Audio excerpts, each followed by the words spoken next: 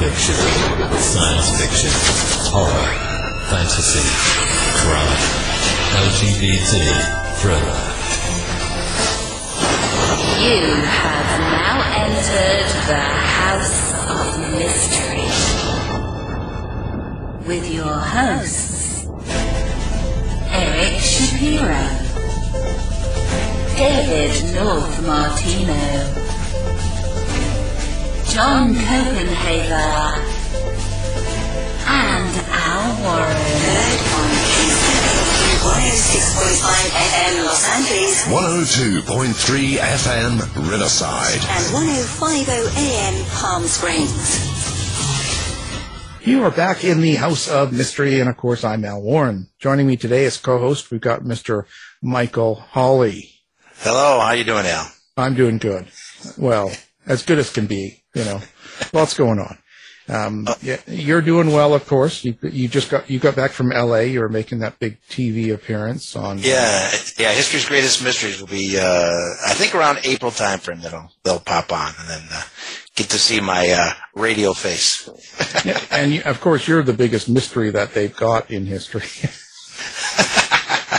and it works. It works. Yeah, it works. It never ends, I'll tell you. Okay. Well, now today uh, we have an interesting guest. We have a science fiction writer from the UK. First, when I saw his picture, I thought we were talking about Sean Bean. You know, I thought it's exciting here, but no, it's not. It's uh, Mr. Gareth Powell. Now, thank you for being here, Gareth. Hi, thanks for having me. Yeah. Um, do people get you mixed up with Sean Bean? No, that's never happened before. Um, First time. I've, I've been told I look like Brendan Gleeson a few times, but not Sean Bean. Well, now you go. Now you have. I think you look like him, but I mean, at least your picture does on the uh, on your um, you know Amazon page. Yeah. Well, does that mean uh, that I'm going to have to die halfway through this? yeah, that's right. You, he never makes it to the end of a series. no, uh, I, I don't think so, but you never know. Mike, I, I don't trust him. So, um, well, Gareth, you, you've written a lot of books. Uh, I see quite a few books here under this. Um, have you been writing all your life? Is this something that you've done since you were a young kid, or? Yeah, I mean, I started writing books in inverted commas when I was at primary school. Um, sort of age, I remember six or seven, writing um, in spiral topped reporters' notebooks, um, great long rambling stories that were basically cribbed off that night's episode of Star Trek or, or Battlestar Galactica and kind of with the names changed and, uh, some of my own ideas thrown in. So, yeah, I mean, I've always done it. Um, you know, I used to fold, get four or five pages of A4, fold them in half and staple the spine to create a little book and then draw all the pictures and write a story in it. So it's something I've done since I was very small. Um, I think my grandmother at one point, I wrote a story called Death Trap. Um, and my grandmother said, "Oh, you could be a professional writer." And I think I was about eight years old, so you know, she doomed me. Um, Well, but that's a good. That's good to have that that, that kind of support in a way. Um, you know. Um, Yeah. uh, So, how did you get into writing? How did you decide to get something published? when I was um, 16 or 17, um, I won a school competition um, where you had to write a short story in the first three chapters of a novel. And the prize was to have your work reviewed by Diana Wynne Jones. Um, so I met her in a coffee shop one morning and uh, she went through and, and really tore my writing to shreds. Um, but it was the first professional uh, feedback I'd ever had, and it kind of opened my eyes. And it was like, oh, I don't just have to write like I'm writing for an English literature A level. I can write like I want to tell a story. Um, I don't have to use all the long fancy words. I can just tell a story. Um, and that kind of sowed the seed. And then when I went to university, I did creative writing. One of my tutors was the novelist Helen Dunmore who taught taught me more in one afternoon than I'd learnt in three years of uh, English literature at school, and I went on from there, and you know, never thought I could make a career out of being a writer. I had no idea how you went about doing that, so I got the usual sort of postgraduate jobs in call centres and um, ended up working in marketing. But then one day I read um, Burning Chrome by William Gibson. Hmm. And I thought, you know, oh, that's how you do it. And that just gave me the confidence to, to stop trying to write like Arthur C. Clarke or, or Robert Heinlein and just write kind of what I knew from kind of like a grunt's perspective. Um, and just start writing those stories. So I wrote, I wrote some short stories that were kind of Gibson influenced, and then I gradually started to find my own voice. I mulched in some other influences and all the sci-fi I'd read, and ev- eventually that kind of bore fruit when I was about um, ooh, how old was I? I was, about thirty-five when I had my first Interzone publication. So yeah, it took a while. Yeah. So that critique really helped you out then. it, it definitely was one of the kind of, you know, I think in life there are, you can probably identify about half a dozen turning points that set you on the course you're on now. And that was definitely one of them. Yeah. Oh, yeah. Things like that. You know, we come across that. So, did you push her down the stairs on the way out for coffee, or? No, I mean, she, I, I don't know if you, you ever met her or you, you know her, but she had this huge bush of sort of black and grey hair and looked, um, you know, was dressed very exotically and I think, if I recall correctly, she had a leather jacket and like a big scarf. She looked very witchy and I was frankly terrified. fear, fear works. Oh, and yeah, that's it's it's interesting. So there's a certain freedom that comes with that when you just start to let go and and just write from your own your own mind, just your own self. Hey, Yeah, I think, um, and having talked to other writers over the years, I think we all start out trying to emulate our influences, but it's when um, there comes a sudden point where you're writing something and you, you suddenly realise you're writing just from yourself, just it's coming from yourself. You're not trying to to write like anybody else anymore, and you think that sentence is all mine, and you suddenly realise you found your voice, and then you have to kind of develop that and, and sort of chase that and work, work out what that is. Um, and that's, that's the moment everything sort of clicks into place. I guess, I guess it's like, um, if you're learning the trumpet or something, you play like Miles Davis or you play like Dizzy Gillespie, and then suddenly you play a riff and it's just come completely from you and you think, oh, that's how I play it. And then you kind of have your own style. I think it's the same with writing. certainly. Uh, you know, uh, now science fiction is your is is is what you write. Um, I wonder if um, if something like that. Where do you get the uh, ideas for your stories? Do they come in dreams? Do they come in? Um, where, where does it start for you? Uh, they come from all over the place. Uh, um, I have had stories that have come from dreams where I've woken up and thought that is just too crazy. I have to write that down. Um, and but sometimes I've just thought of a character and sort of built a story from that character, or I've thought of like some wacky situation and kind of built a world around that in order for that to happen. So, um, you know, I, I thought I wrote one story which was um, based around the idea of what if there was a machine that could turn you into anything you wanted, um, and then that, a whole story grew out of that one um, called The Last Reef, which was my first Interzone story. Um, so they come from, they come from sort of a diverse number of places, and sometimes an idea isn't enough. You need to find another idea and then kind of squash them together in order to get a, a good story. Um, the example I'd give would be John Wyndham's Day of the Triffids, Right. where he had an idea for, you know, an edible plant, but on their own, they're not much threat because, you know, you can just run away from them or get your lawnmower out and poof. But, um, then he had the, the meteor shower that makes everybody blind and suddenly those plants are really scary because they can be right there and you don't know they're there. So it, it's finding those two kind of that intersection of ideas is usually where the, the sweet spot comes and the good stories are. Yeah, that's it, it's an interesting um, idea.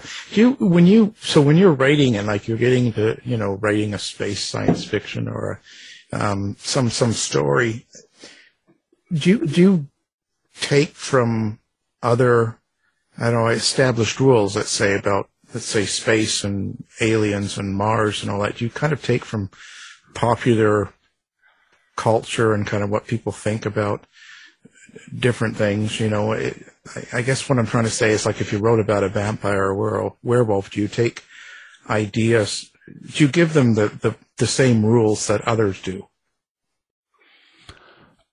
I think there are conventions and tropes in any branch of literature, and all literature is kind of a conversation with itself. So you can't write about, for instance, an alien invasion of the world without bearing in mind like H.G. Wells' War of the Worlds or the movie Independence Day. And, you know, there are so many different versions of that in popular culture that you have to be aware of them and you have to, whether to reference them or to avoid referencing them, but you, you have to be aware that they're there.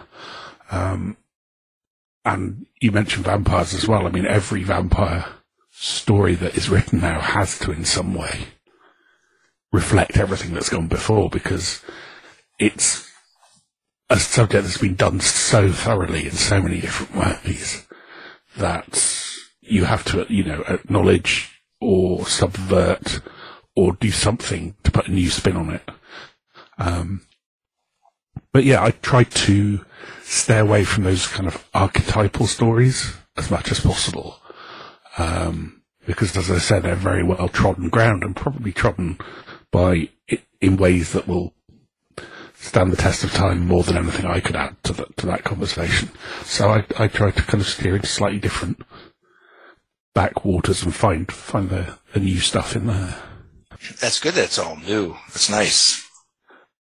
I wouldn't claim it's all you, but um, obviously I, I have my my influences and, and you know stuff I've I've I'm covering has, has been done before. Just hopefully finding the less common stuff and doing it in a slightly different way. Do you have the uh, you all those short stories you have? Have you enlarged those, uh, or do you kind of keep it separate?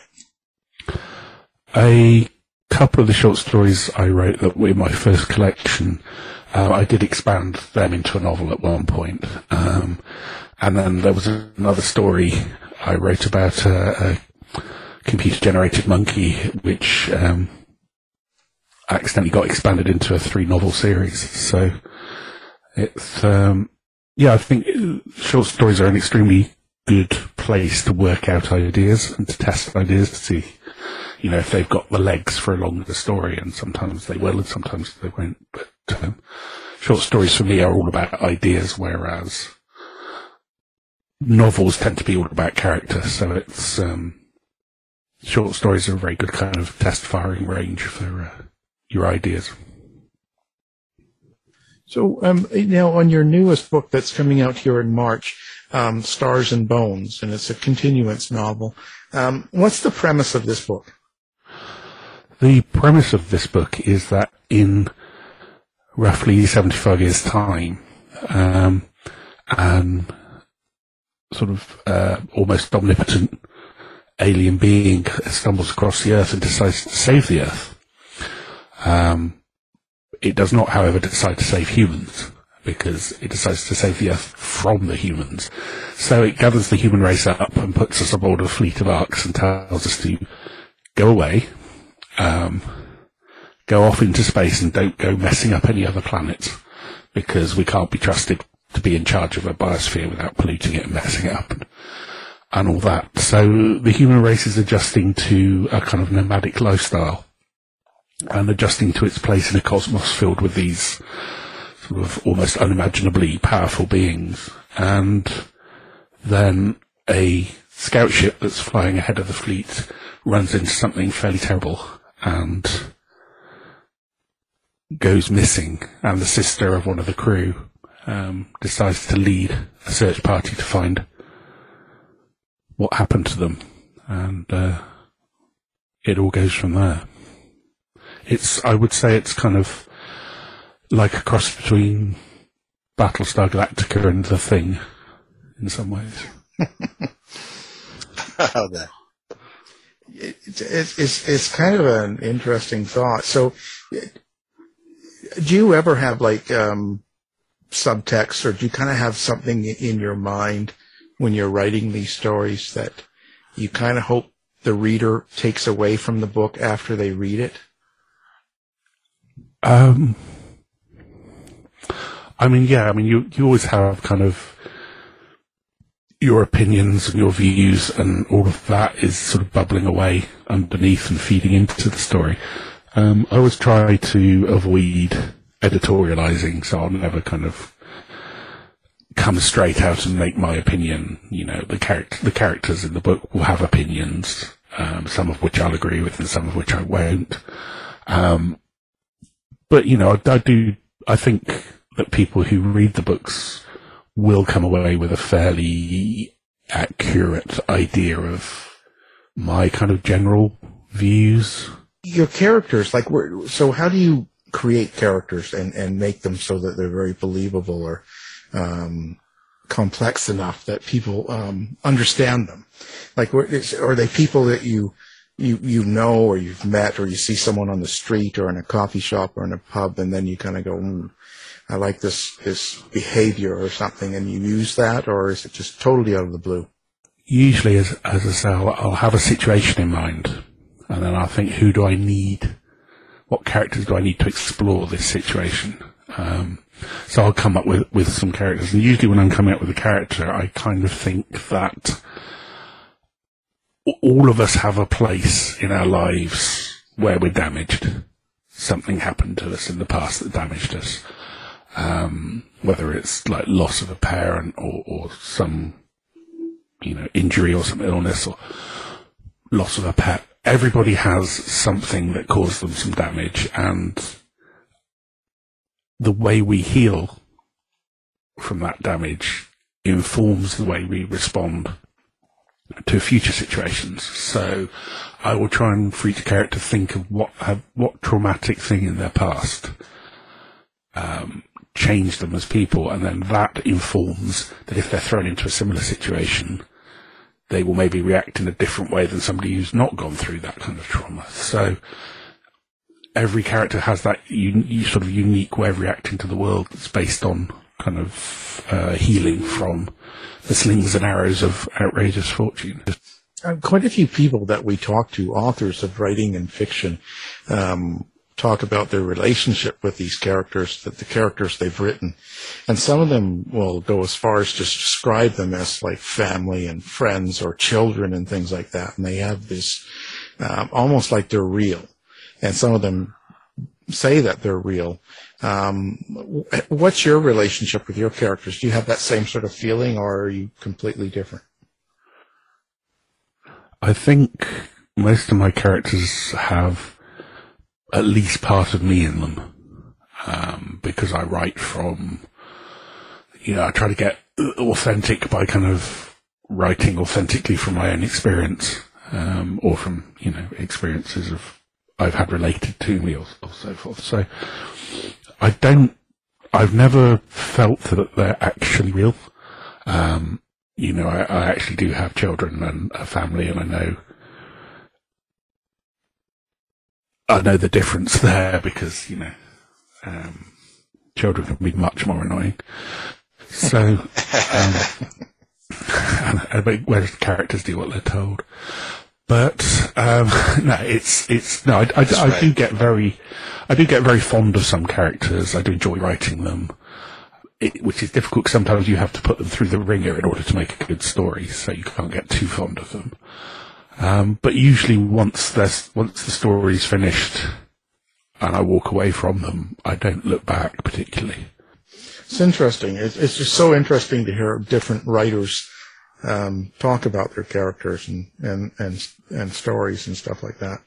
Um, do, you- do you think that um, these kinds of stories, like science fiction, like you've got this with the the Earth 75 years from now, and human race and the dying Earth and stuff like that, and they're kind of a cause.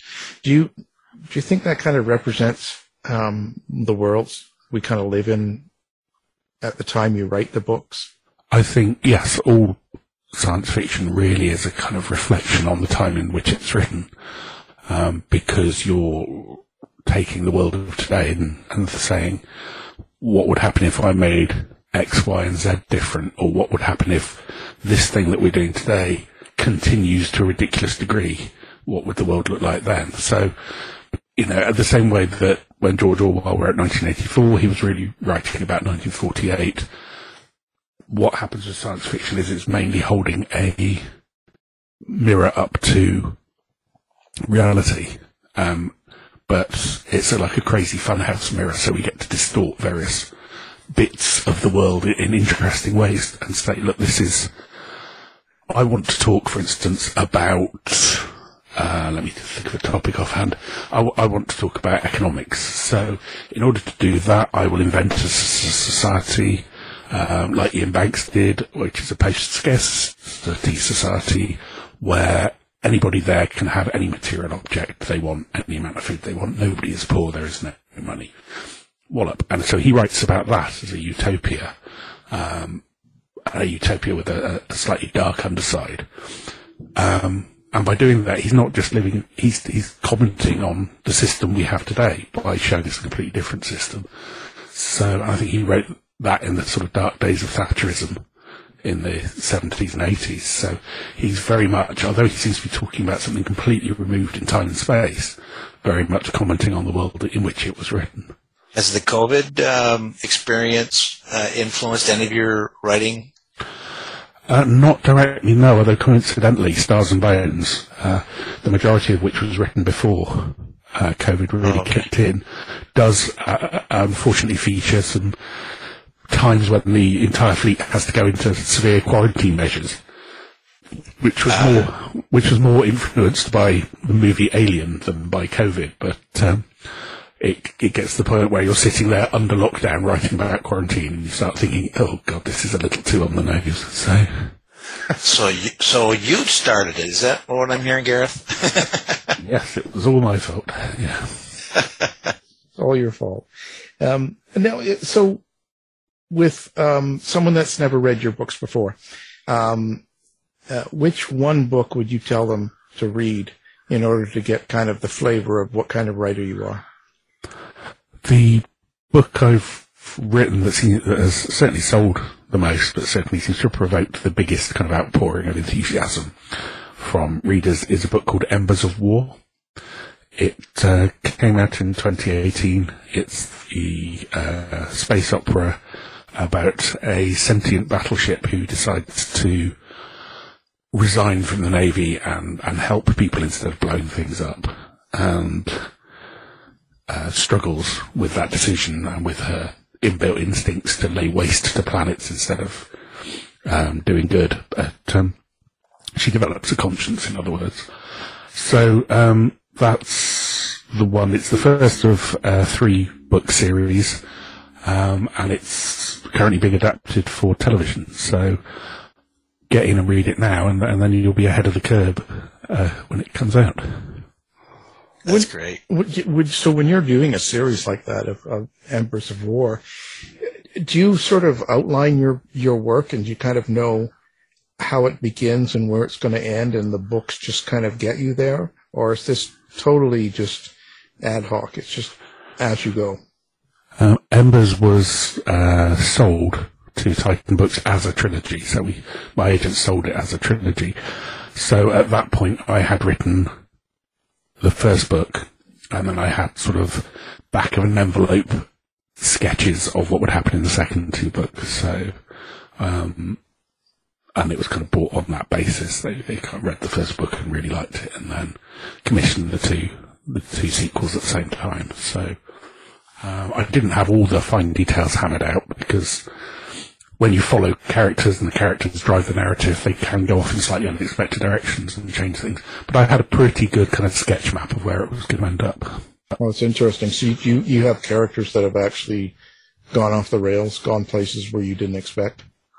Very much so. Um, because there's, there's nothing that kind of throws you out of a story harder than a character doing something stupid or doing something out of character just to fit the needs of the plot. So, you know, I try to, if I get to a point where I just think, no, that character just simply wouldn't do that, then I have to kind of work around and find a different path. Um, so, you know, I try and follow the characters because I think readers will follow a, a, a character they sympathise with and identify with, um, and get quite annoyed if those characters suddenly turn around and just do something that's just quite ridiculous, just to further, um, obviously the the needs of the plot. I mean, how many times have uh, we screamed at cinema screens when a character decides to, you know, let's all go into the haunted house, or you know, I'm going down to the scary basement by myself, and things like that. And you think, well, in that situation, that character just simply wouldn't do that. They'd turn run the other way. So you have to try and be a bit more kind of authentic in your approach. Yeah, it's it's it's a kind of a yeah, it's an interesting area. Now, space opera, you've mentioned that. So, how do you describe like what is a space opera for? Uh, I've heard that term a lot lately, so I'm I'm curious about um, what it's what it encompasses. Well, it started out actually as a, a derogatory term um, back in the 40s and 50s, I think, where it was likened to uh, soap opera and uh, westerns were known as horse operas. And so um, they started calling them the space operas, which was kind of very pulpy, very trashy, um, kind of space adventure serial where you could have just set it in the Wild West and nobody would have noticed the difference. Um, and then that kind of term kind of got reclaimed over the years, and, and especially in the sort of the turn of the millennium, the new space opera that came out of a lot of UK write, were, were writing, it became a term for kind of large, widescreen kind of space adventure dealing with big themes. Um, sort of life, death, the history of the universe, everything in between. Um, and sort of very dramatic. And so it's kind of kind of, kind of a catch-all for that kind of big space-based adventure. Um, but modern space opera is, is sort of so far away from that early kind of Buck Rogers stuff. It's now dealing with, as I said, the, the big questions of you know, who are we? What do we do while we're here and where are we going and what's going to happen after we die and what happened before we got here? Um, and it's, it's dealing with that and our relationship vast and uncaring cosmos. You know, I wonder the um, there's so many categories now, so many uh, genres of of science fiction. You know, with hard science fiction and and all the all these different names. Do you do you sort of try to be one category of sci-fi, or do you like one better than the other? No, I don't. I mean, they are at the end of the day, they're marketing categories um, designed to help um, readers identify books like the ones they've just read. Um, so if you say, I read this, I want to find more books like that. What What is this? You say, oh, that's space opera, or that's hard sci-fi. It's the same in crime writing where you have like cozy mysteries and hard-boiled detective and stuff. But, you know, a lot of people read and enjoy all sorts of different stories from all sorts of different subgenres. And a lot of people outside the field don't even know the names of all these subgenres. They're just sci-fi books. Um, so I tend to take the kind of increasing kind of more and smaller and smaller balkanization of, of the genre into all these different tiny sub sub sub genres with a, a huge pinch of salt because I, I read all of them um, and I enjoy all of them and they're just different ways of telling stories. Is that part of your research for a book? Is to read other or, or the different ideas, or um, do you research? This is coming from No, us I'm- nonfiction guys that we research like crazy. No, the the reason I read other sci-fi um, is because uh, I I write sci-fi because I love reading it, um, and I grew up reading it, and I grew up on on science fiction, so that's kind of why I, I still read it now. I also, you know, now I'm published, I read it in some way to keep in touch. My publisher tends to send me um, advanced copies of books that are coming out because they want me to put a quote on the cover, so I, I get to keep up with a lot of what's happening in the genre. Um, Okay. And a lot of the book books are, are books by friends of mine who are other writers, so I try and keep up with uh, them as well. So it's not so much research, but it's just keeping abreast of what everyone else is doing. Did you ever read a sci-fi book you didn't like from a friend? You want to tell us or na- his name now, or Um, not. no, I've I've definitely read books I, I've hated, but not one by anyone I knew. So. um, so who do you, who do you like in science fiction? Um, I guess some of the older writers, some of the ones before, not modern day, or do you like modern day? Like, what's where do you stand on sci-fi? What's your favorite?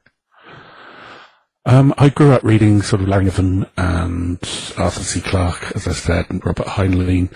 Um, I kind of got most of most of what I read at the moment is, is very modern. So, um, particularly I'm reading uh, a lot of Aliette de Bodard at the moment.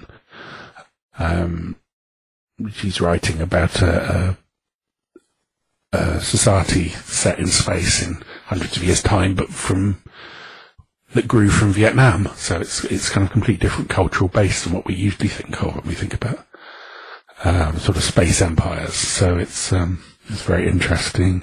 Adrian Tchaikovsky is a uh, a, a fellow British writer.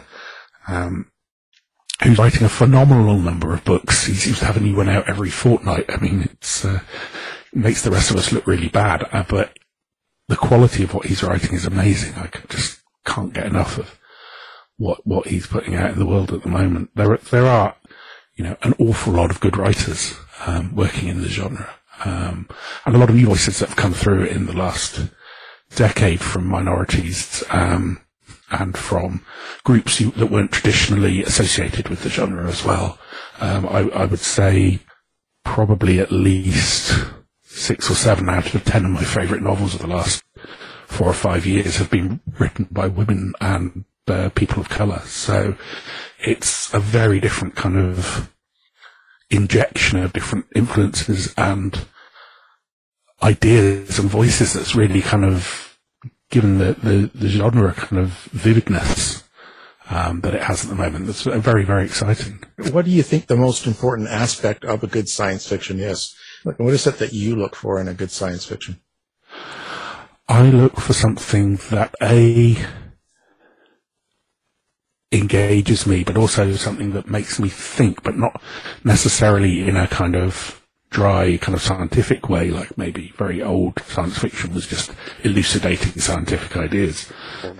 I think now the readership has matured somewhat, and we are more familiar with a wider range of scientific um, theories than, than perhaps when science fiction set out to be kind of like an educational genre. Now we are more au fait with that sort of thing. So I'm looking for things that explore topics that are larger and maybe more in depth and more to do with the characters as well as the worlds in which they find themselves. So I'm looking for escapism, but I'm also looking for something that will kind of make me think about who I am as a person and my relationship with the universe. You know, when we we went back, if we go back to the uh, of War, and you talk about being signed to do a television show based on it, does that make you feel like um, there's a lot of pressure behind that, or how it turns out, or what they do with it? Um, not especially, no. I mean, I've read, I've, I read the first draft of the pilot script, which was phenomenally good, because obviously they had to make some changes because a lot of wrote just isn't doable on screen.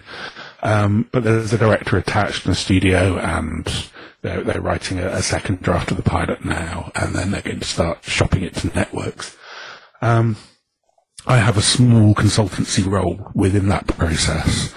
Um, but it's a completely different art form. Television is is not my wheelhouse. I, I write novels, so I'm happy the scriptwriter and the director and the people who know how television works will adapt that material for that art form. Um, obviously, I hope it does well because then, you know, obviously I'd like all my other books to be adapted as well, and you know, for huge briefcases full of Hollywood money to come arrive on my doorstep. but um, we can we can but hope. Um, so yeah, I mean, I hope it does well, but uh, it's out of my hands, so I'm trying not. You know, I, I don't get anxious about it. I mean, I will. You know, when the first episode hits the screen, I will be a very nervous dude, but until that point, it's there's you know, it's all out of my hands. The proud father. I have a question, Gareth. The uh, you have a family, and you're writing these novels, and you're reading profusely. Uh, how do you do it? Do you set your schedule up? Is there a certain time that you uh, set to write, or how do you do that? No, I mean, ideally that would be a good way to do things. That's how things were in the early years. But now my kids are older, so their schedules are are different. Um, so I don't get evenings to myself anymore because they you know they tend to stay up later than I do. So and they you know they need lifts to work in the morning or lifts to school, and and it's um, I kind of end up just doing that classic kind of working parent thing of, of trying to do everything and dropping the ball all over the place and Right, yeah, right. never get never feel like, never feel I'm doing enough of everything because I was running from one to the other. So yeah, it's just a, it's a situation I think an awful lot of people over the last two years have found themselves in. Now, so many people have been working from home with families. They've lost that kind of separation between work and home, um, and it can be a very difficult juggling act. Oh, that's that could be another sci-fi movie right there, or book. Something in there. I think you're onto something. When you get to reviews and stuff like that, do do you follow reviews or do you interact with people that review any of your work? Um, I don't obsessively look for reviews or anything. I mean, nowadays we have social media, so oft times I will become aware of a review because someone will post it on Twitter and tag me in. Um, so I'll stick my nose in and, and have a look. And um, I'm, I'm fortunate; I, I ra- rarely get bad reviews. Um, and if I do, well, you know, not everybody can like everything, so you know, art is subjective.